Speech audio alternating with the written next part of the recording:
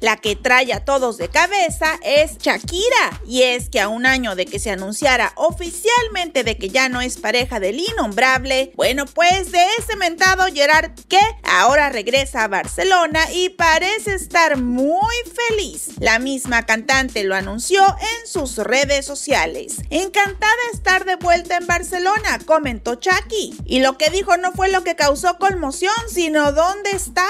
Y ahorita se los cuento. Y es que más que por placer, la colombiana está por deber de vuelta en España, pues regresó a dejar a sus hijos con el exfutbolista, ya que pasarán el verano con él, esto como parte del acuerdo que ambos firmaron tras terminar su relación. Shakira llegó como con 20 maletas porque se quedará todos estos días para cuidar a sus retoños, pues por nada del mundo los dejaría solos con su padre y mucho menos para que Clarita Chía se les acerque, ven que ha dejado más que claro que no la puede ver ni en pintura ni quiere que conviva con sus retoños. Pero eso no es lo que más revuelo está causando, sino que Chucky nada más puso un pie en Barcelona y ya se dejó ver en el Gran Premio de España de Fórmula 1, donde vuelve a coincidir con Lewis Hamilton, con quien se ha visto varias veces, aunque eso no me suena a casualidad. Y ahora el deportista es una de las personas de más confianza de la cantante e incluso se rumora de un posible romance entre ambos. ¿Qué tal?